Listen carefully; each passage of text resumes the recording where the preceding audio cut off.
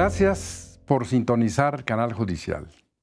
Gracias por permitirnos llegar a su hogar, que hoy, como les prometimos, eh, vamos a hacer la segunda parte del análisis de las normas jurídicas de derecho familiar, sucesorio y laboral, pero ahora con un enfoque diferente a lo que antes señalamos, por supuesto basados en lo mismo, pero nuevamente con la presencia del doctor Enrique Larios, quien es el presidente del Colegio de Profesores de Derecho Laboral de la Facultad de Derecho de la Universidad Nacional, a quien me complace mucho darle una cordial bienvenida otra vez, Enrique. Muchas gracias, Julián. nuevamente, gracias por la invitación. Siempre es un gusto estar contigo y con tu auditorio. Bueno, pues ya ves que la semana anterior, el otro programa, hemos de haber dejado encendidas muchas inquietudes porque eh, de por sí el tema es polémico, hay que insistir en que es de orden público e interés social. Desde mi perspectiva, y obviamente yo asumo la responsabilidad de todas las expresiones que emito en este programa, es una legislación pésima, en esta materia está muy mal hecha, es evidente que no saben los que la hicieron, derecho familiar, derecho sucesorio, seguramente derecho laboral, sí saben, pero han metido a la familia o a las familias en tales enredos que tú, con toda tu sabiduría y experiencia, has tratado de resolver y que ahora vamos a nuevamente a retomar esta hipótesis última que manejabas eh, la vez anterior sobre esos diferentes supuestos que llegamos hasta el del Seguro Social y donde habla de viudo, viuda, de un concubinato de cinco años, de una incapacidad de jóvenes de más de 16, que si no es hasta la 50% no tienen derecho a eso, si son menores de 16, si están plenamente en capacidad,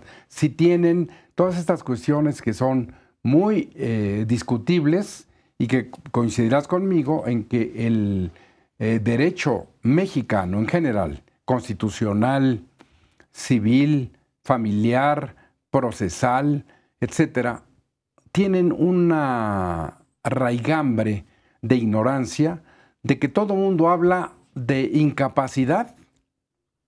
Hablan del artículo 450 del Código Civil, tienen incapacidad natural y legal los menores de edad. Y aquí no resiste el menor análisis porque si eso fuera cierto, el que tiene 16 años y tiene la posibilidad de otorgar un testamento público abierto, no necesita que lo autorice su papá ni su mamá, va a un notario público y otorga un testamento público abierto, perfecto. ¿Qué ocurre con el menor que se casa y se emancipa a los 16 años? Tiene, es mi perspectiva, una capacidad diferente. Y eso es muy importante porque ahora vamos a llevarlo al derecho laboral. Y si te parece, entraríamos nuevamente a esta hipótesis de estos eh, beneficiarios, los herederos, esta segunda eh, cuestión que maneja el artículo 502 en cuanto a la cantidad, que, esto es muy importante, la masa hereditaria, ¿no? Bueno, mira, eh, yo creo que la vida de un ser humano no puede valer 5 mil, no, es invaluable, no puede valer 5 mil salarios. Pero aquí está valuado en esos 5 mil salarios. Repito, este artículo 510, 502 no dice que sean salarios mínimos. No, no, eso es muy importante. Porque serían 365 mil pesos lo que cuesta la vida de un trabajador. Entonces, si en una empresa tiene que instalar eh, elementos preventivos que le salen en 2 millones de pesos, pues mejor que se muera uno y, y, te pago 365 En tu opinión, ¿por qué el legislador no hace esto más eh, explícito? ¿Qué es, eh, compromiso con los patrones? Mira, las normas de derecho laboral y las normas de derecho de la seguridad social se han venido haciendo más complicadas. Las ¿Para qué? para que sea de difícil acceso a los beneficiarios. Ya lo dijiste tú, yo no lo quería señalar porque me voy a ver mal. Mira, pero es evidente que está en contra de los trabajadores y de la familia. que la reforma de 2012 porque no se hizo con el cuidado que amerita una reforma laboral. Entonces, lógicamente, lo, si, si, de una ley que tiene mil artículos te, te, modifican 400, pues vamos a pensar que algunos hayan sido bien, bien modificados. Pero de los 400 que modificaron y lo que, que lo anexaron, solamente ha traído mayores complicaciones en la administración de la justicia del trabajo. Hay cosas que no se entienden. Ahora, yo te voy a decir, para nosotros en materia laboral, todo esto que está aquí se alega, pero siempre acudiendo, y lo decíamos en el programa anterior, acudiendo a la jurisprudencia de carácter familiar. Señor, aquí, aquí son son beneficiarios tales personas o son herederos y este heredero es el equivalente a un beneficiario en nuestra materia, en nuestra ley. Por supuesto, esto no, no se queda este, solamente en, la, en, el caso de los, de, los, este, eh, de los trabajadores que fallecen. Hay dos cosas. Es muy importante cuando el trabajador fallece y no fue por un riesgo de trabajo. Tiene que seguir la misma situación. Te voy a comentar otra cosa que... Creo, perdón, te voy a interrumpir. Esto que dijo el maestro, él lo hizo así muy rápido, pero voy a regresarme a él. Es muy importante para usted allá en su hogar. Son hipótesis jurídicas diferentes, aunque es de lo mismo el trabajador, que él muera naturalmente a que muera en un accidente de trabajo. Porque el morir en un accidente de trabajo, ya oyeron ustedes, implica 5 mil salarios. Y dependiendo del salario, ya estamos hablando probablemente de millones de pesos. Si muere naturalmente y hay eh, cuestiones pendientes que le deban, juicios, etcétera, eh, por supuesto que no será una cantidad de esa magnitud. Pero sea como fuere, como bien lo dice el doctor Larios, y yo ratifico lo que él ha expresado, están mal hechas las leyes. Así es. Continúa, profesor. ha faltado profesionalismo para poderlas reformar. Y sobre todo en la materia laboral, que es la que yo veo más. Pero, eh, de todos modos, las familias se ven obligadas a abrir juicios ante la Junta, que yo creo que son juicios este, innecesarios. Que debemos, ¿Y son largos? Son, bueno, mira, el juicio especial debe, es el equivalente a un juicio sumario del derecho civil. Y, debe de este, ser... Perdón mi ignorancia, este, ¿Cuál es el no especial? El, el, juicio ordinario. Hay juicios ordinarios. Todos los que van por la vía ordinaria es prácticamente Son las demandas laborales. Las demandas laborales ordinarias. ¿Y especiales son este y cuál otro habría especial? Especiales, por ejemplo, cuando un trabajador está reclamando una jornada inhumana. Ah, ok. Entonces va, demanda ante la Junta, dice que es una jornada inhumana, llaman al patrón y en la misma audiencia, en una sola audiencia debe de agotarse esto. Sin embargo, la experiencia también te puedo decir que este tipo de juicios que tienen características sucesorias, eh, solamente en cuanto a, las, a las cantidades que se le deben a los trabajadores, pueden ser tan largos o más largos que un juicio laboral ordinario. De años. De años. Qué barbaridad. De años. Sí, sí, muchas veces son bastante intrincadas, sobre todo pues cuando se descubren relaciones que no se conocían realmente en la familia o que a lo mejor se sospechaban pero que no tenían elementos. Es ahí donde se destapa una cloaca y es ahí donde surgen los este, enfrentamientos y hay enfrentamientos pues, bastante desagradables en las juntas cuando se están analizando este tipo de cosas. ¿Verdad?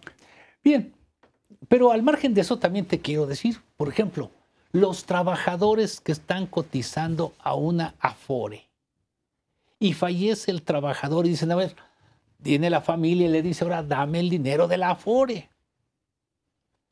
Le van a decir, no te lo puedo dar. Te pediría yo, abusando de tu experiencia y conocimiento, que brevemente nos explicaras, sobre todo para la distinguida teleaudiencia y a tu servidor, qué significa esa palabra afore. y qué es un afore. Porque por sabido se calla, pero más vale preguntar y no errar. Claro. Y está bien porque a nuestro público tenemos que informarle. una, eh, el sistema de seguridad social se ha venido privatizando, aun cuando hay declaraciones en el sentido contrario. No se privatiza, pero sí se privatiza. Entonces, lo que es, el paquete este, pensionario del trabajador, que es un paquete económico. O sea, el dinero del trabajador. El dinero del trabajador que se metía a una cuenta al Seguro Social o al ISTE. Para su pensión. Para sus pensión, para sus jubilaciones. En ese tiempo eran jubilaciones. Ahora es un sistema pensionario. Y entonces ahora ese dinero, en lugar de estar en el Seguro Social, está en empresas privadas que tienen posibilidad de jugar a la especulación económica con dinero de los trabajadores. ¿Y si quiebra la empresa? Si quiebra la empresa, el trabajador fue el que fue y dijo yo quiero esta, esta Afore y entonces en esa Afore... O sea, ¿le preguntan al trabajador? El trabajador tiene, no le preguntan, el trabajador tiene derecho a elegir si no se quedan en la Afore siglo XXI que es el Seguro Social. ¿Sí? La Afore Pero el trabajador es el dueño de su dinero, ¿no? Claro, pero ese es un dinero secuestrado. Si él no quisiera sí, se queda en la Afore siglo XXI. Pero si él no quiere, entonces puede decir, bueno, yo me voy a, no voy a decir este, ninguna de las Afores, a X Afore me voy, o a la Afore Y. ¿Sí? Ah, bueno, pues entonces vas y manifiestas tu voluntad y mandan tu dinero a esa Afore. Y esa Afore pues tiene facilidad para poder manejar esos recursos eh, con ciertos términos de que eh, de las personas de determinada edad ya no se manejan en la especulación más ruda, pero la que sí se está manejando en la especulación más ruda es el dinero de los jóvenes. Esa es una realidad. Entonces. De los jóvenes trabajadores. De los jóvenes trabajadores, o sea, los que ven muy lejana su pensión. Me acuerdo que en un programa aquí tú dijiste alguna vez, y fuiste un crítico muy acertado, que creo que el, el sexenio anterior se habían escogido eh, una opción de que si te quedas en esta eh, Afore o te vas a esta, Así era, ¿no? Así es. Bueno. Eh, ¿Sí te acuerdas? Sí. Lo que sucede es que le decían a los trabajadores, cuando seguramente fue con la reforma a la ley del ISTE, cuando los trabajadores dicen, te quedas en la fracción mm. décima, en la, en, la, décima transitoria, o te vas a una AFORE. O sea, o público o privado. Exactamente. Entonces, ¿cuál de los dos quieres? Bueno, pues este, de, esa, de esa experiencia de 2007 eh, se formó el pensionista. El pensionista ha funcionado demasiado bien. Y digo demasiado bien porque ahorita el gobierno está haciendo una reforma para convertirle en una empresa que no sirva. Y ahí está, esperando en la Cámara de Senadores a ver si pasa la reforma que ya aprobó la Cámara de, Diputados. Eh, pero es una... ¿Qué, es el pensionista? Es una empresa...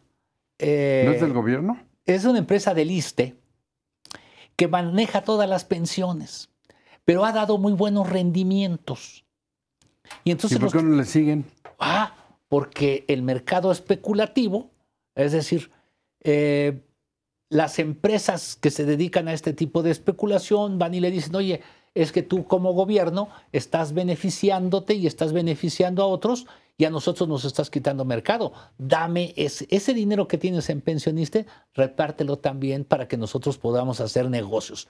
El sistema neoliberal que nosotros vivimos es todo está en el mercado. Entonces hay que meter las pensiones al mercado. Eso es lo que dice el sistema. Yo no estoy de acuerdo. Muy bien, Enrique. Bueno, realmente no lo van a creer, pero ya llegamos a la primera parte. Voy a hacer un corte breve, porque es eh, este da, dijimos dos programas, no, hombre, esto puede dar para mucho más. Y vamos a dejar pendiente eh, un poco más adelante, analizar con la experiencia, la experticia del doctor Enrique Larios, hasta dónde se ha metido en esta materia de sucesiones del trabajador, la ley del ISTE y la del Seguro Social, que es diferente Hemos hablado solo de la Ley Federal del Trabajo.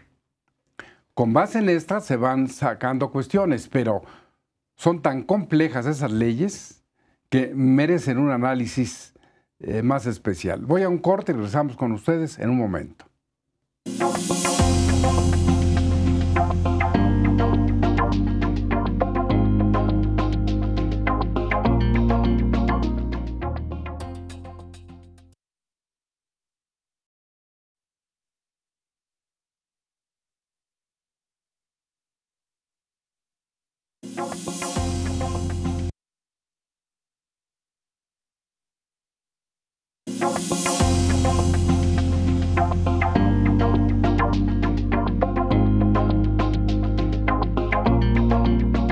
Acaba de sintonizar el canal judicial, le agradezco porque sabe que porque nos deja entrar a su hogar, este programa es una realidad.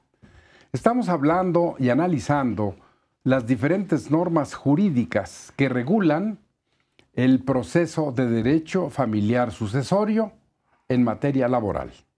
Tenemos el privilegio que nos acompañe el doctor Enrique Larios, presidente del Colegio de Profesores de Derecho del Trabajo de la Facultad de Derecho de la Universidad Nacional. Y les recuerdo que este programa ustedes lo pueden ver en Dish, en Sky, en Cablevisión, en las repetidoras locales de televisión, pasa los lunes de 9 a 10 de la mañana, los martes de 17 a 18 horas, los jueves de 4 a 5 de la mañana y los viernes de 11 a 12 del día.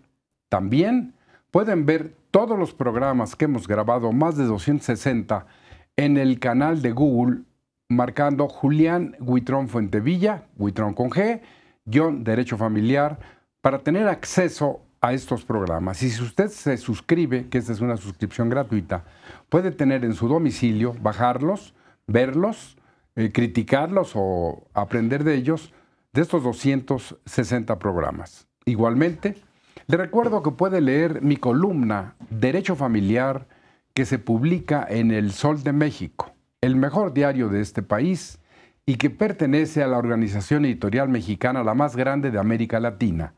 Igualmente, usted puede escribirme al correo electrónico jhuitron@derechofamiliar.net, llamarme al 56 39 22 35, como lo han hecho ahora que el doctor Lario está con nosotros, para que nos eh, deleite, nos siga informando de esta materia tan importante.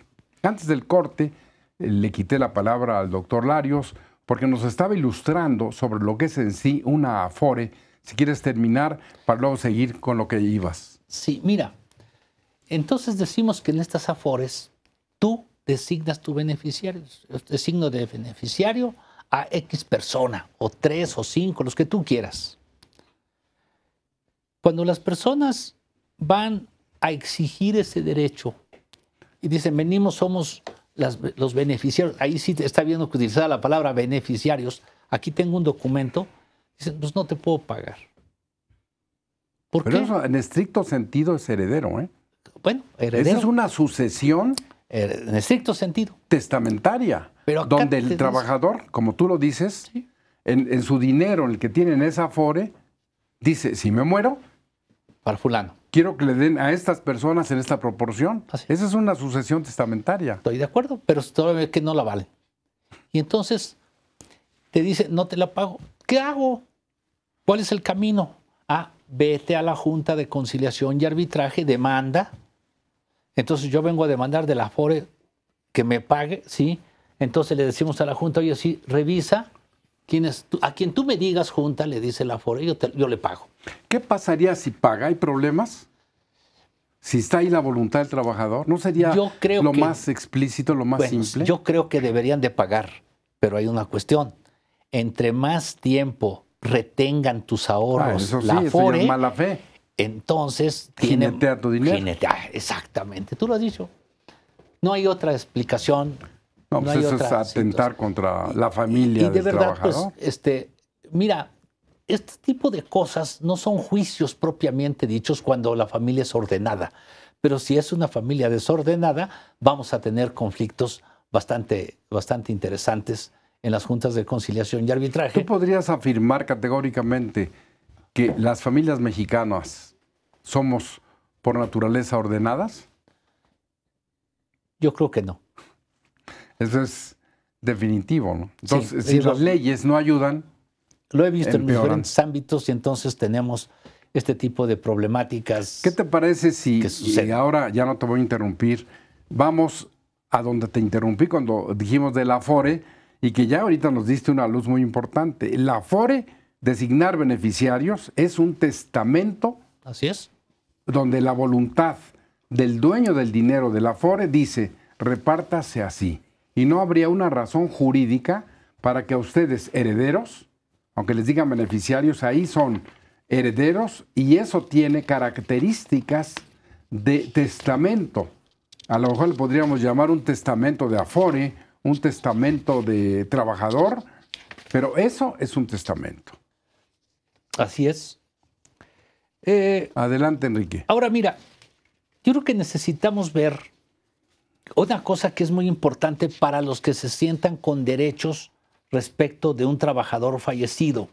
Deben de saber los términos de prescripción. Fallecido por accidente o por lo que sea. Por lo que sea. Ah. Por lo que sea. Insisto, si hay un trabajador fallecido y llega con el patrón, le dice, oye, patrón, este, págame lo que te debe, el patrón le va a decir, ¿sabes qué? Ve a la junta y las, las personas que me diga la junta, ahí te pago. Pero no te lo voy a pagar así porque, porque ese patrón podría estar pagando doble si lo hace. Entonces, ese es el encajonamiento de, la ley. Eh, mira, la, la, prescripción la, prescripción respecto a los beneficiarios. Exactamente.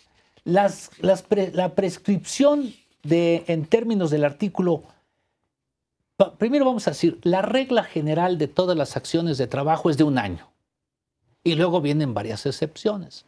No vamos a hablar de todas ellas, vamos a hablar solamente la de dos años, que es para las acciones de los beneficiarios en caso de muerte del trabajador.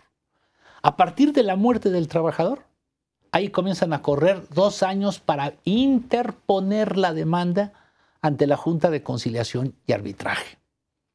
Por supuesto, si el trabajador falleció en accidente de trabajo, debe de ser ipso facto porque el patrón tiene obligación de dar aviso del fallecimiento de este trabajador y entonces en ese momento que se conoce del fallecimiento, eh, se tiene que hacer la demanda ante la Junta de Conciliación y Arbitraje y la Junta de Conciliación y Arbitraje le pedirá al patrón qué documentos tiene para poder determinar quiénes son los beneficiarios de ese trabajador. Y de todos modos, se harán las publicaciones en el lugar.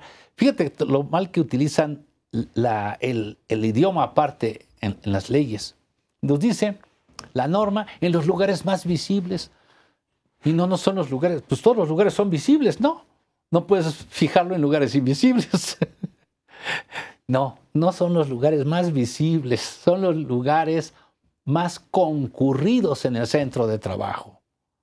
Entonces, ah, vamos a decir, el lugar más concurrido donde los trabajadores van y checan, ahí se hace, se fija una convocatoria y dicen, en virtud de que falleció el trabajador, dan el nombre, este, el, para tal fecha, a partir del momento en que se, en que se fija en el reloj checador, en, la pared donde está el reloj checador, se fija esta convocatoria. Ese es el visible. Ese es el visible, según el legislador eh, van a pasar 30 días, deben de pasar 30 días a partir del día que se fijó para que pueda tener verificativo una audiencia en la cual se van a recibir a todos los a todos los de este, se sientan con derecho. las que se sientan con derecho, las manifestaciones de todos aquellos que se sientan con derecho a, alguna cuestión. Si pasan los 30 días y no hay, este, solamente se presentó una familia, un hijo, etcétera, regularmente se les va a acreditar a esas personas ese derecho. ¿Sí? No es, las juntas tampoco actúan así en un sentido estricto de decir, bueno, esto no hay. ¿Por qué?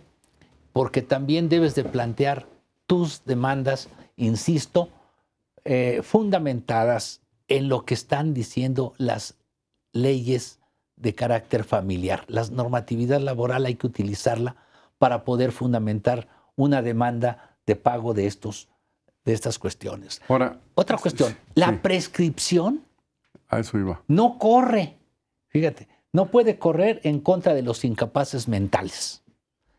Entonces, si un trabajador tiene un incapaz mental como probable beneficiario, no puede correr contra él la prescripción, este, sino hasta que se le haya discernido la tutela conforme a la ley, que es la ley familiar.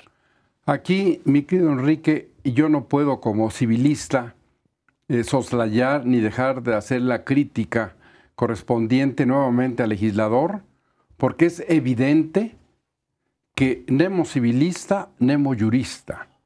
El que no sabe civil no es un jurista. Sí, estoy de ¿Por qué? Porque la prescripción es su naturaleza jurídica la que permite liberarse del cumplimiento de obligaciones por el solo transcurso del tiempo y la pasividad del acreedor. Esa es la prescripción.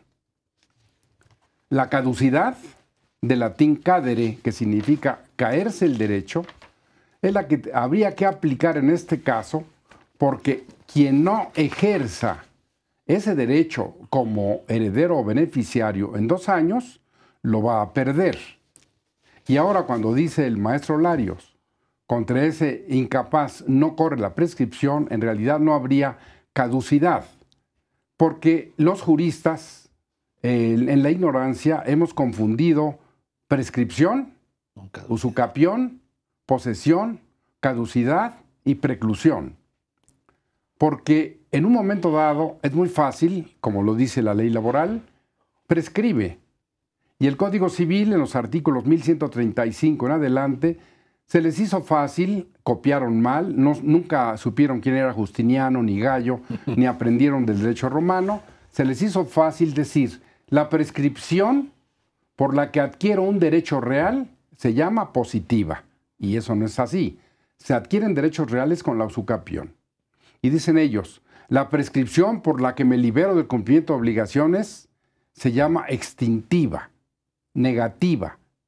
Entonces, nuevamente, hay que colacionar la crítica a esta ley y a los legisladores que la han elaborado, porque evidentemente hay una ignorancia crasa, una ignorancia enciclopédica, porque conforme más avanzamos en la ley vemos que la ignorancia es permanente.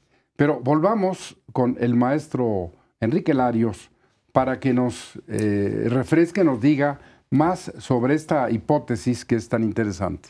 Mira, este, hay otra cosa que las, que las familias deben de saber y que las, el trabajador está haciendo aportaciones en el Fondo Nacional de la Vivienda. Es decir, todos los trabajadores deben de tener una cuenta en lo que conocemos como el Infonavit, ordinariamente.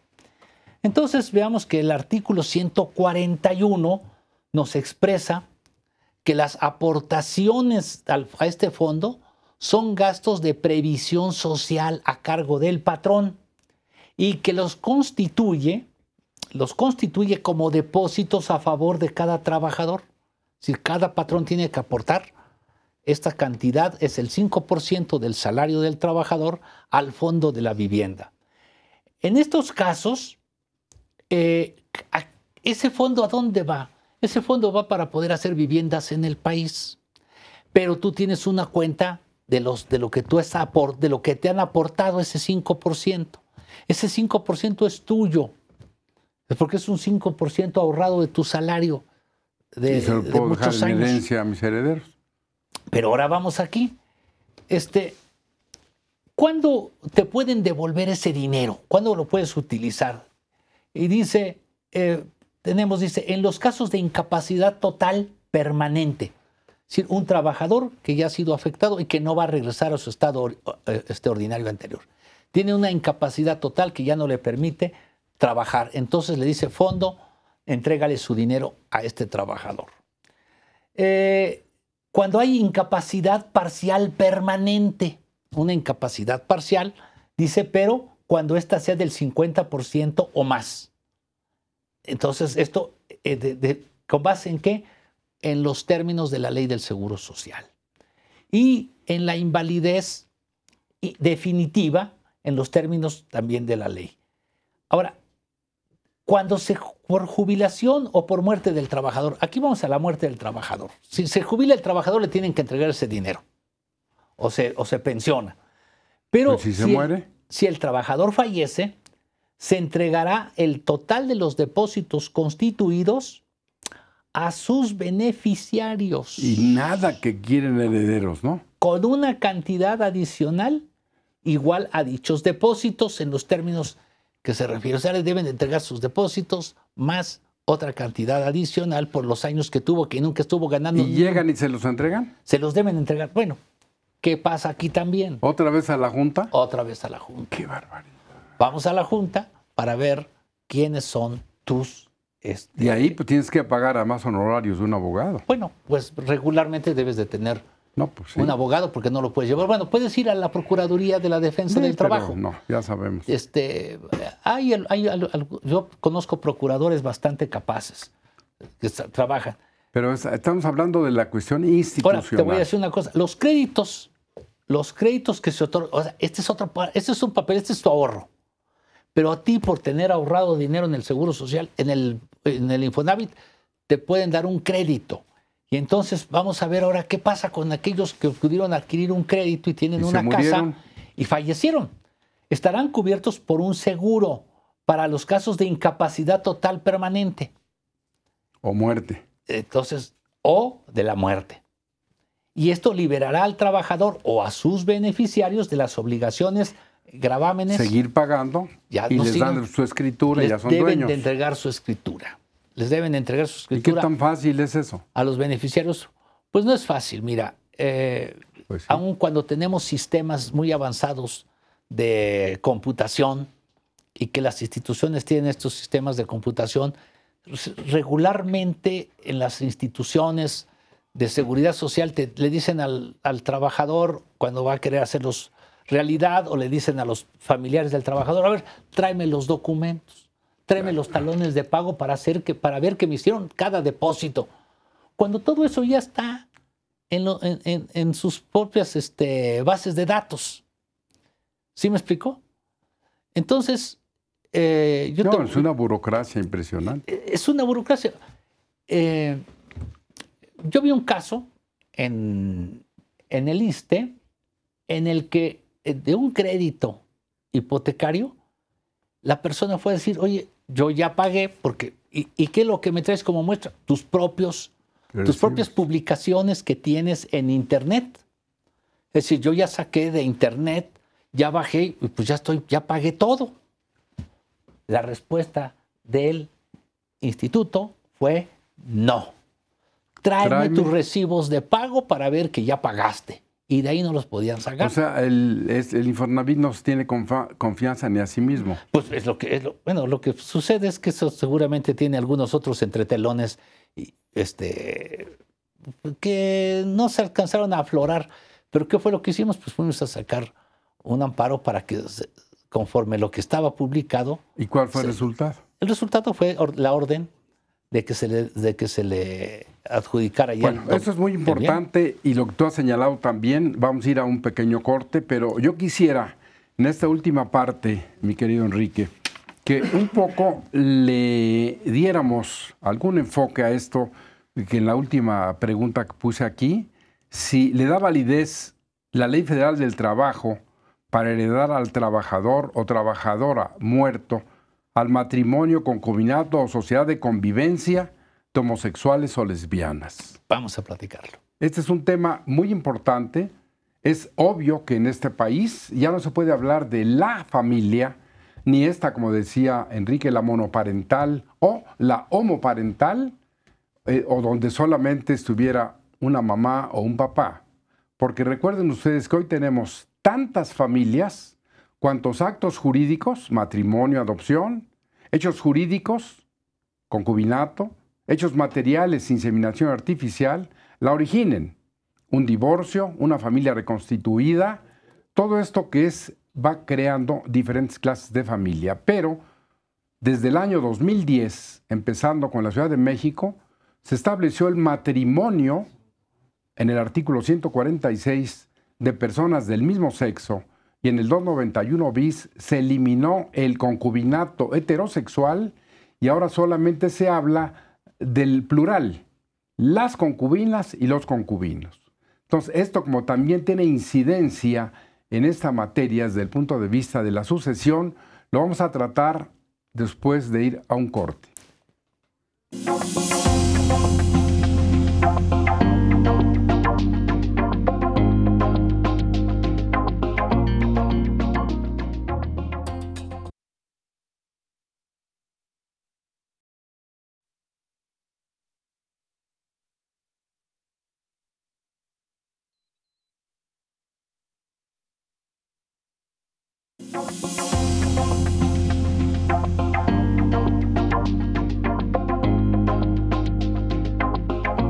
Gracias por permitirnos llegar a su hogar. Si usted acaba de sintonizar el canal judicial, estamos en la última parte del análisis de las normas de derecho familiar sucesorio laboral en cuanto al destino de la masa hereditaria de los bienes producto de un trabajador cuando los mismos derivan de una muerte accidental, de una muerte de un riesgo de trabajo, de una muerte natural, y que esto se convierte en dinero de alguna manera, diferentes cantidades, dependiendo si fue natural, las acciones que puedan ejercer, lo que se le debía, como bien decía el doctor Larios, parte del aguinaldo del año que va corriendo, o si fue un accidente, esos 5 mil días de salario, dependiendo de qué clase de trabajador estamos hablando.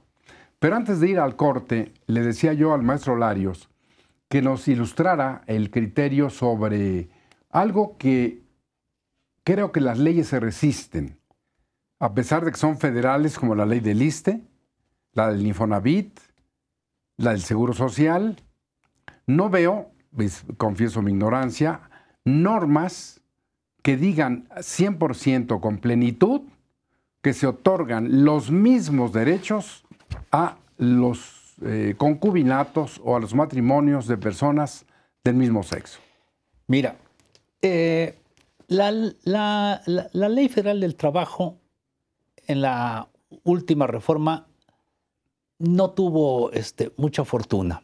O sea, no lo incluye. No lo incluye, pero hay algo que podemos tomar. Ah, bueno, ahí viene ya, fíjense En los principios de derecho. perdón, Enrique, esta gran eh, vocación jurista del maestro Larios, que dice, no está, pero les voy a abrir una puerta para que vean que sí. Para, ver, que sí. Enséñanos. Mira, el artículo 2 y 3 de la Ley Federal del Trabajo fueron reformados.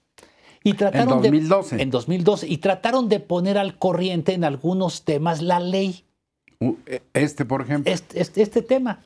Y entonces nos dice, nos comienza a hablar el artículo 2 de, la, de que no debe de existir discriminación por origen étnico este, o nacional, género, edad, discapacidad, pero y trae varias cuestiones. No le llegó al artículo primero de inclinación sexual. No, pero acá no lo dice. No debe haber discriminación por, por preferencias sexuales o estado civil. Dice. Así lo dice. Si tiene acceso a la seguridad este, social y se le percibe. Nos está hablando de lo que debe ser un, un trabajo decente. Este artículo 2 dice, ¿qué es un trabajo decente? Es, el trabajo decente es un término que maneja la OIT.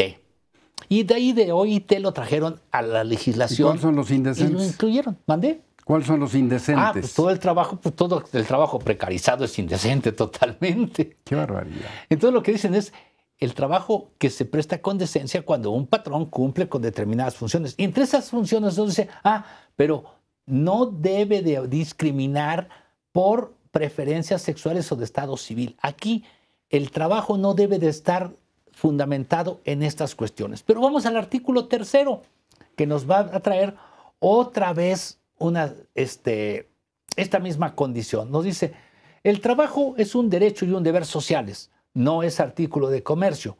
Y dice, no podrán establecerse condiciones que impliquen discriminación, entonces por origen étnico, nacional, de género, edad, discapacidad, y luego sigue diciendo varias cosas, pero entremos a lo que nos, nos convoca el día de hoy. Preferencias sexuales, estado civil o cualquier otro que atente contra la dignidad humana. Luego entonces, con base en esto, que esta es la filosofía que debe de impulsar a toda la ley, es decir, la ley debe de estar fundamentada en estos primeros artículos, en sus primeros tres artículos. La reforma del 2011 de la Constitución. No, pero la de la, Constitución del 2011. primero de la Constitución y ahora entramos a estas cuestiones. Eh, tendríamos que ver, este, eh, no he tenido un, juicio de esa naturaleza, pero si hubiese un juicio de esa naturaleza, diríamos, conforme esto, el artículo 501 está atrasado. No, está fuera de lugar. Y si es si cumple las, las, las funciones, si, si, si presenta un acta de matrimonio y son personas del mismo sexo, no tiene por qué discriminarlas. Pero ¿Por el qué? 501 no reconoce Porque eso. lo- no lo reconoce. Pero, el pero yo voy a invocar el artículo tercero en relación con el 502. A ver, espérame un momentito, Enrique. Aunque no es, y eso lo vamos a hacer en otro programa, esto de la Ley Federal del Trabajo ha incidido, tiene texto, influencia. Si ya se admitió con plenitud a nivel federal en la ley del ISTE, el Infonavit y el Seguro Social, En la ley del Seguro Social ya hay, ya hay reformas, pero pero ¿En- no en, en- en la qué- ley del trabajo. ¿En qué sentido? Por eso, pero si estas dan sobre eso, Mira, la ley federal del trabajo no está reconociendo mira, las diferentes clases de familias. no las reconoce. Pero eso, pero acá te dice en, en su, en estos, estos, estos tres artículos, estos primeros tres artículos, tú nos señalabas, es una ley de orden público, de interés social. Nos lo señalabas al principio. ¿Y esos qué son los principios que nos deben de guiar? Esta es una ley de orden público. Entonces, hay dos tipos de interpretación. Una interpretación cuadrada que nos diga, no, aquí me dice que la viuda fulano de tal, tal, tal. Sí, pero al aplicar tú esto de una manera este, estricta, Esa sería la exégesis de la ley. Así el, es. te- el culto al texto de la ley. Aquí dice así y no hay de otra más que así. Así es. No, pero entonces yo le digo, pero solamente que si tú lo aplicas así, estás faltando al artículo, primer, al artículo tercero. Y el artículo tercero te dice que no crees discriminación por razones de preferencia sexual. Te, lo pongo, te pongo eso, pero me voy entonces a las normas que se aplican y las que han reconocido, y que esas son de tu materia, las que han reconocido el matrimonio entre personas del mismo sexo.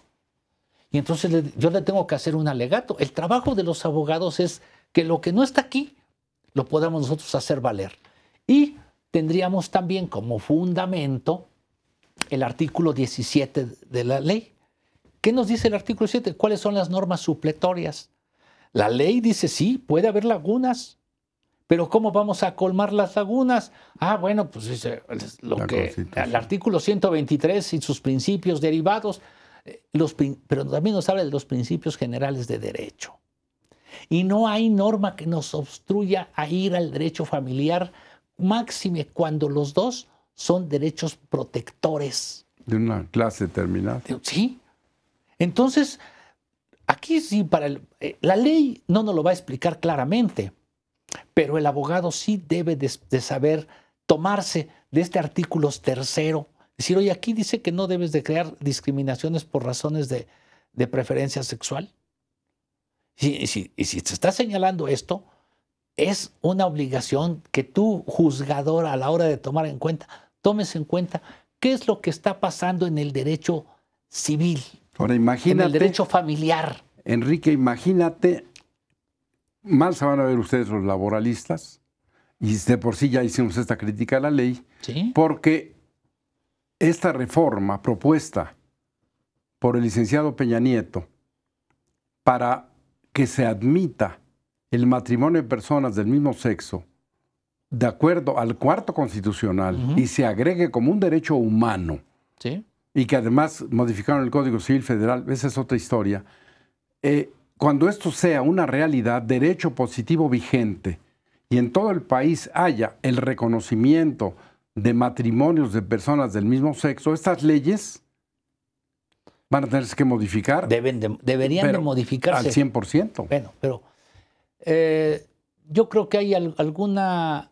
Mira, una cosa es lo que hace la, una cosa es el que hace la ley, otra cosa es el que lo ejecuta y otra cosa es el que la interpreta.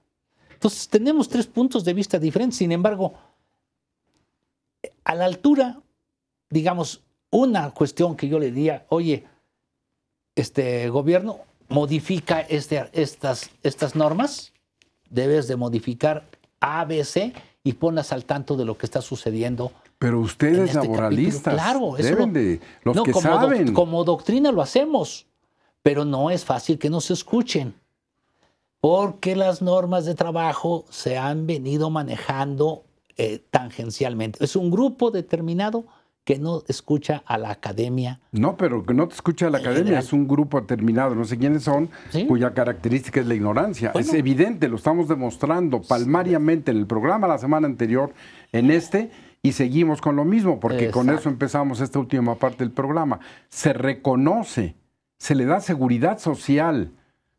¿Qué pasaría un matrimonio de dos mujeres?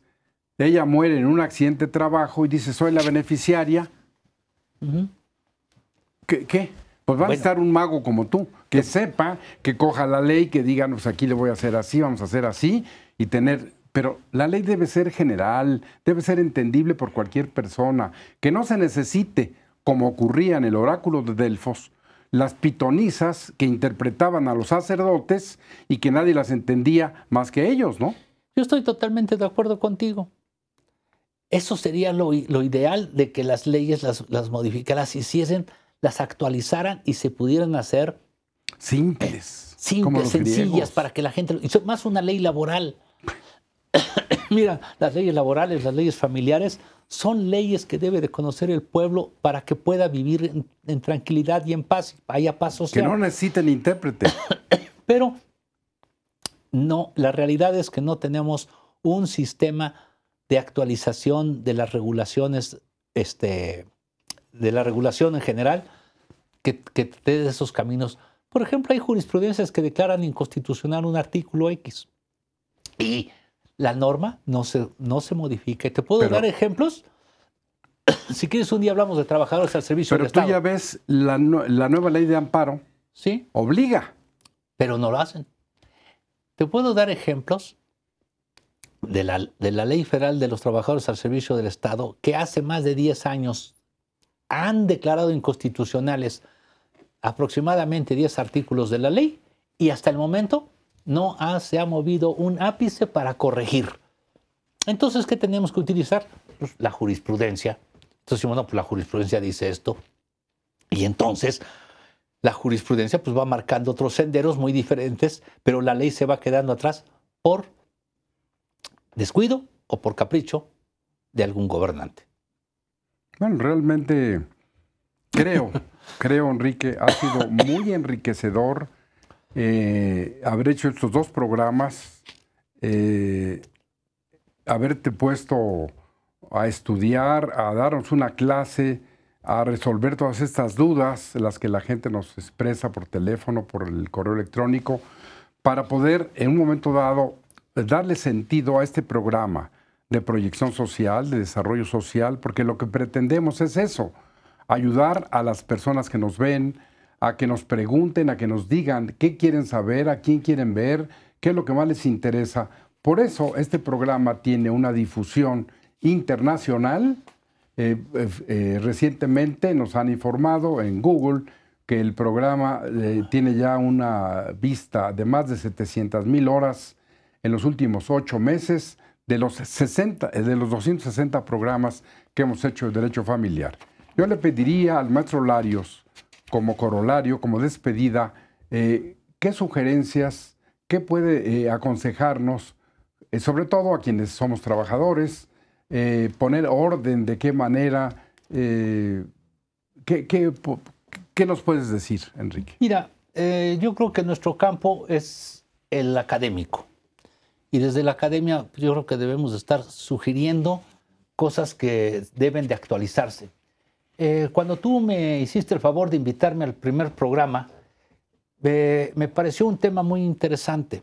Y fuimos, fui rastreando en la Ley Federal del Trabajo y nos encontramos cosas que no le dijimos a nuestro auditorio.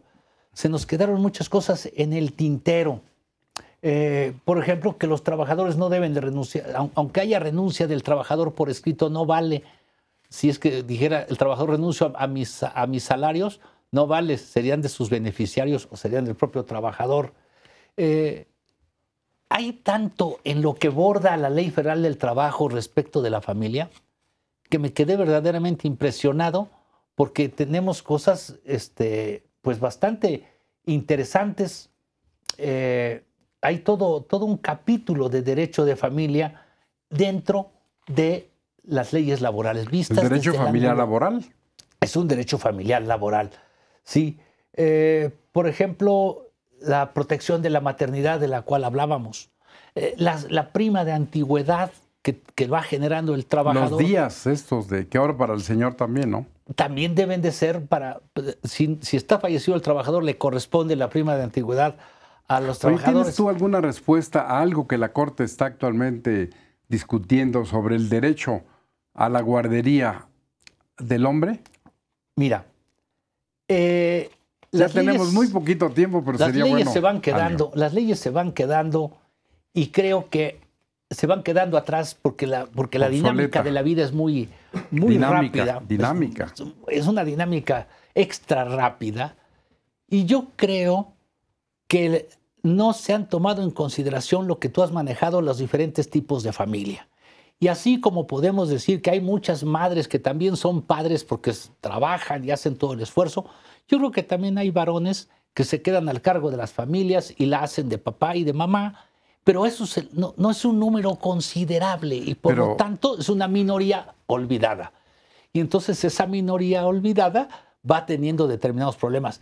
El derecho de la guardería está precisamente pa, en la ley federal del trabajo se lo otorga a las mujeres. Bueno, ¿qué te parece, aunque voy a abusar, de que en un futuro próximo nuevamente te convoque yo nos hagas el favor de venir a darnos tu sabiduría, tus luces, tu conocimiento, para que la distinguida teleaudiencia, como yo, abrevemos, eh, aprendamos, sepamos un poco más, porque la medida de lo que uno sabe y se da cuenta que es más lo que ignora, estas luces son muy importantes para aprender algo más.